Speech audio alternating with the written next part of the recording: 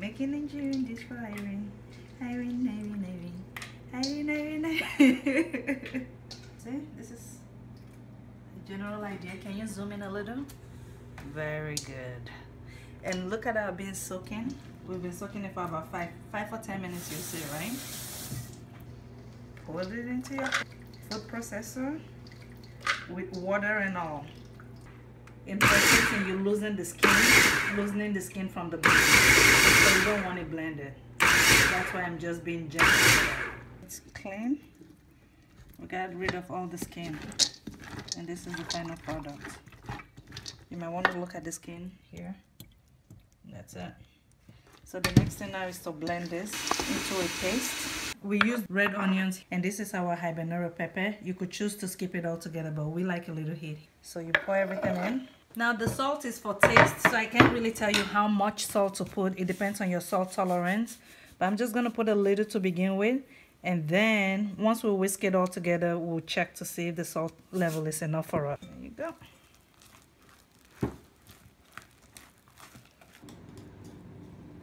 So we have our oil on high heat. It's been on high heat for about two or three minutes now. And we fluffed up our beans with the onions in it and pepper and a little salt. I don't know if you can tell, but it's very fluffy. Very fluffy, airy.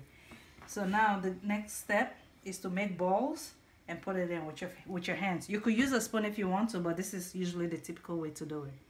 And you put it in. See how it bubbles up? Perfect. The oil is hot enough. The beans is fluffy enough. So there you go. So it's not gonna soak it in. It's not gonna go down. It just comes right up. See, I put it in. It comes right, pops right up. So it doesn't take long to fry at all, and it goes right in. The beans will be cooked through and through. And because it's fluffy, I don't have to worry about it sticking together because it's moving. It fries quickly and then it moves around. I can even pack in a lot more. As quickly as you put it in the oil, you turn it quickly because it cooks real fast. So you don't want it to burn. I love the golden brown color.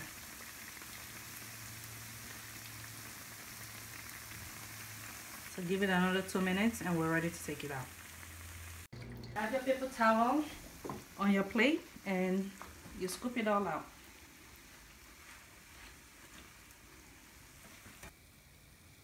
And that's it. You're done. So that this is what it looks like on the inside. Yummy, yummy. It's hot. Mm, mm, mm. Couldn't have tasted better even if I didn't do this.